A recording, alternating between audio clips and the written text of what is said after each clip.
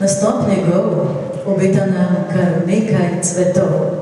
Prvi cvet, ki nam Boga pripel, iz opere Carmen Žorža Bizeja Jozef. Dame in gospodje, Nance Jukar!